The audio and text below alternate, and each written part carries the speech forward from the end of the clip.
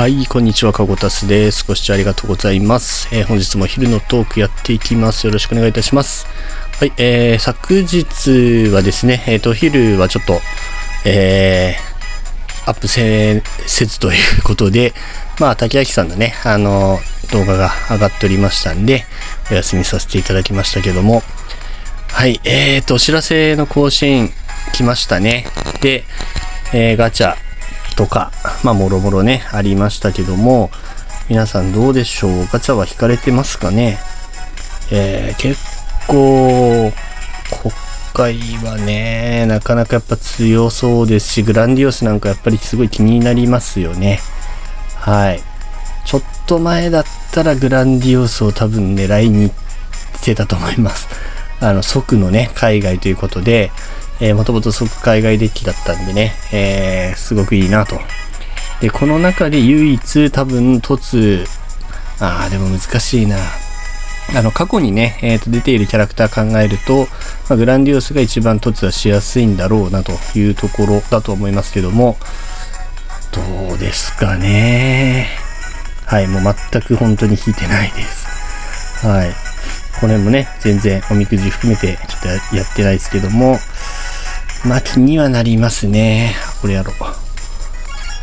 う。うん。でね、やっぱり周りで、えー連盟な方もね、含めて、まあ、結構ね、あの、引いてる方いらっしゃるので、えー、まあなんとなくね、見てるといいなというふうには感じていますけども、うん、どうしてもやっぱり突問題、あとは周年前、うん、怖いなと。で、さらに、えっ、と、お知らせの更新の中で言うと、ね、このタイミングでまたこういうね、えーキャラクターをぶっ込んでくると。で、葵くんね、これ見ると結構やっぱね、強そうなんですよね。オフェンス32,979。ディフェンスもね、それなりにあるし、フィジカル。ねうーん。多分強いような気がするんで、まあデバフなんでね、あの、まあでも最近デバフのキャラ増えてるから、デバフのデッキの方は非常にいいようなね、気もしますし、えー必殺ドリブルね、どんどんどんどん新しいの出ますからね。はい。どっちかっていうとやっぱりね、あの、超フェスの葵くんがね、いるから、えっ、と、これはわざとり用になってくるのかもしれないですけども、はい。ね、こういうのをどんどんね、いやー、追加してくるところを見ると、まだまだ周年前まで、えー、ね、ガチャが来るんだろうというふうに思います。うん、なかなかですね。で、えっ、と、昨日知らせの後に、ちょっと急遽なんですけども、えーこの、えっ、と、もらえるやつですね。初心者応援プレゼントの、えっ、と、各キャラクターの、このサブ必殺技について、ちょっとね、紹介をさせていただく動画も上げておりますけども、あのね、やっぱりこれも、えっ、と、連盟内で、まあ、グルチャとかの中で、えっ、と、やっぱね、必殺技を見て、いや、なんかこの辺の必殺技が増えてるんだけど、例えば、ね、一番最初に紹介しましたけども、あの、シュミット兄弟なんかは、ね、えっ、と、ディフェンスに必要な技がもう全部 S 技になってるんですよね。この辺はね、なかなかだなと。はい。なので、ちょ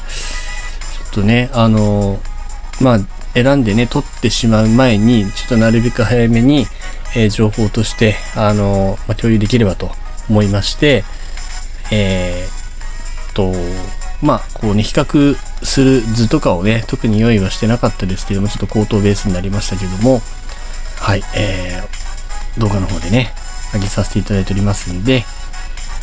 まあ、ご興味ある方はね、えー参考にしていただければと思いますけども、この辺どうでしょう？まあ、結構やっぱ悩まれてる方非常に多そうですけどね。はい。で、これね、右下よく見るとね、あの、チームの特徴っていうのがね、出てます。これだと即属性選手がメインなデッキでシュナイダー、スタインといったフォワード陣が魅力です。全力全開中ではスタイン、通常時はシュナイダーといった使い方をすると、より得点チャンスが生まれやすくなりますということで、デッキのアドバイスみたいなね、感じですね。これだと力属性選手がメインのデッキ、ゼダンからのパスでピエールやナポレオンにホットライン付与することで得点が狙いやすくなります。ピエールとナポレオンはスタミナキラー持ちなので、渾身持ちゴールキーパーとも相性が良いです。渾身持ちね、若林くんとか、えー、三浦くんとかね、まあそういったところ該当しますかね。はい。で、技属性選手がメインのデッキ、リバウルからのホットライン付与が魅力で、リバウルからフォワードにパスを送るとチャンスが生まれやすいです。新田翼のワンツーを駆使して、え、ペナルティエリア内への侵入も狙いますということで、これ、ね、例えば、このワンツーなんですね。美咲くんとですからね。はい、結構貴重ですよね。だからまあ、あの、もうすでにね、新田くんこれ持っている方でも、やっぱり必殺技、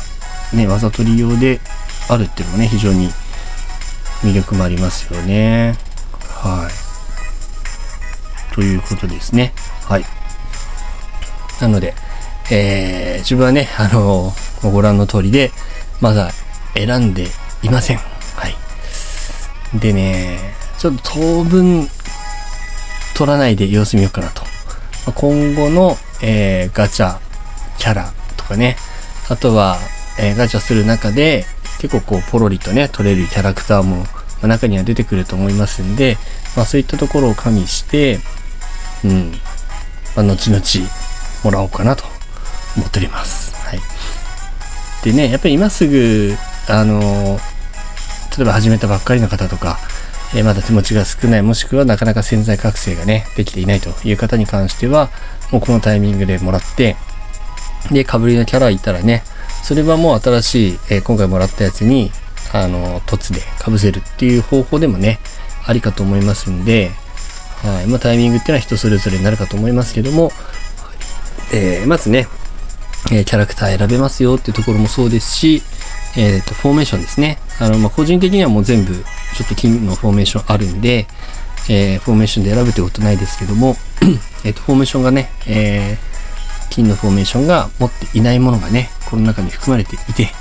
えー、それを狙うっていうのはでもいいと思いますし、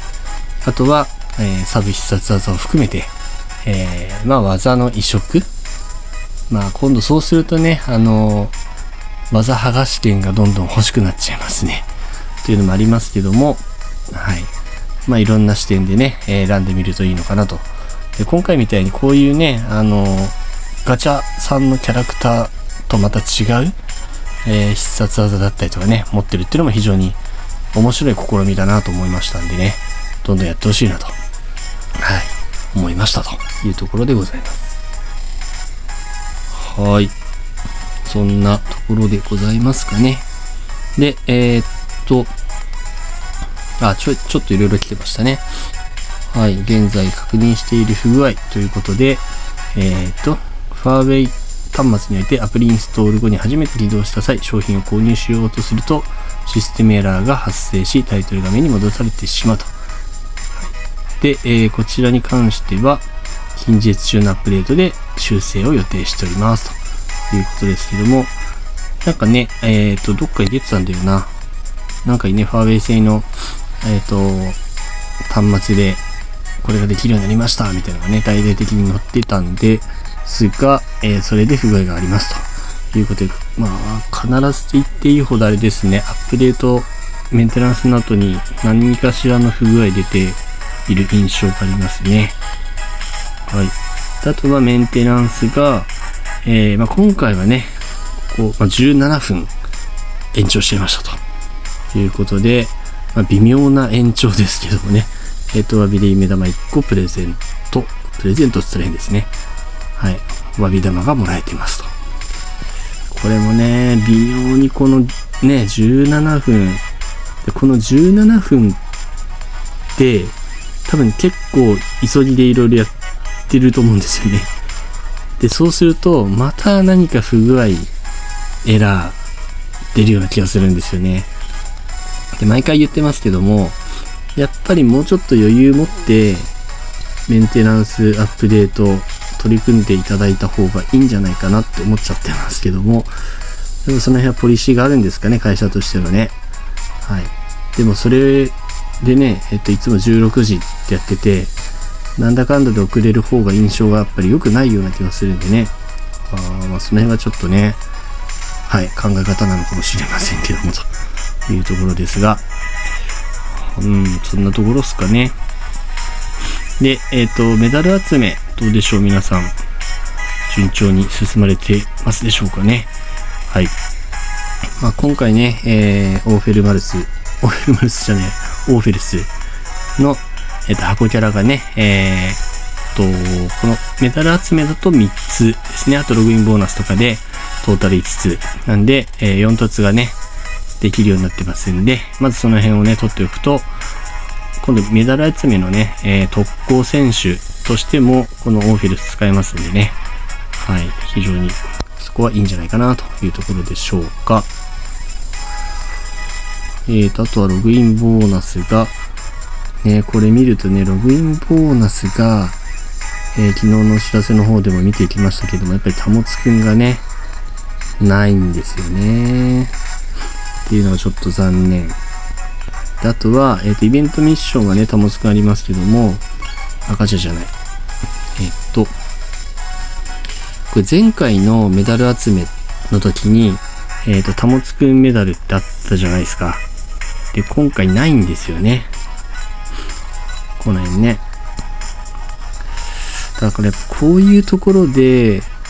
入れてほしいですよね。まあ、仮に1個だとしても、うん、やっぱ欲しいですよね。で、前回ってちょうどアップデートが明けてすぐぐらいだったんで、えー、タモツくんを配ります、みたいな形で、えー、あれ？こ、前回4つもらえたんでしたっけ、最大で。だったような気はするんですけども、やっぱりね、こうやってあのイベントがある時に、イベントの報酬としてね、用意してくれると、イベント参加率っていうのもどんどん上がってくるし、仮にそれがね、1個だとしても、ね、通常よりもやっぱ参加率って上がると思うんですよね。うん。で、なんかね、あのー、アップデート後すぐぐらいは端末どんどん配りますみたいなね、え、感じだったと思うんですけども、うん、やっぱり蓋を開けてみると最初だけなんですよね。だちょっとね、なんか、ばっかりしちゃいます。はい。というところでございます。はい、えー、で、あ、今日からあれか、えっ、ー、と、連盟対抗ツイッター杯ですかね、始まりますので、